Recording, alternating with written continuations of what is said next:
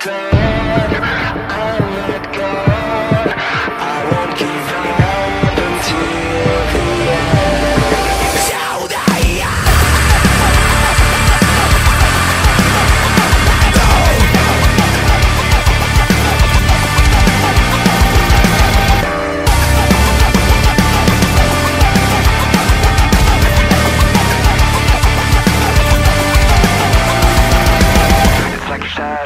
to me, like a voice inside my head.